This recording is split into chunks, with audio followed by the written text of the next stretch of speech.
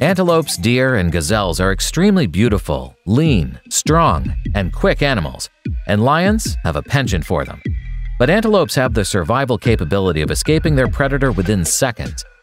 In this video, you can witness a lion attacking a gazelle beside the river. The lion seems to have pushed the hardest, he runs fast, but the antelope escapes in milliseconds. In this second clip, the lioness is sneaking up on them instead of coming at the group of gazelles from the front or behind. The herd of gazelles was just feeling free in the open wild air when one of them approaches the hidden lioness. None of them have any idea of what is happening. As soon as the little gazelle comes close enough, the lioness attacks the innocent fellow, but too slow. The gazelle escapes its predator marvelously.